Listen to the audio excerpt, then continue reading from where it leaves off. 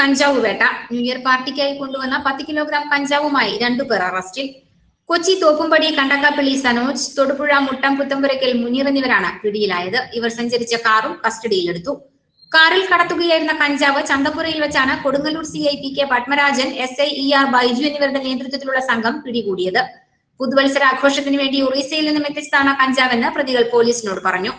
രഹസ്യ വിവരത്തെ തുടർന്ന് ഇവർ സഞ്ചരിച്ചിരുന്ന കാറിനെ പിന്തുടർന്നാണ് പോലീസ് കഞ്ചാവ് പിടിച്ചെടുത്തത്. തീരമേഖലയിൽ യുവാക്കളിൽ ലഹരി ഉപയോഗം വ്യാപകമാകുന്നതായുള്ള സൂചനയെ തുടർന്ന് പോലീസ് നിരീക്ഷണം ശക്തമാക്കിയിരുന്നു. A S I C R Pradeep പോലീസുകാരായ Biju Faisal Dileep Pratheesh Riyasuddin എന്നിവരടങ്ങുന്ന അന്വേഷണ സംഘമാണ് പ്രതികളെ പിടികൂടിയത്.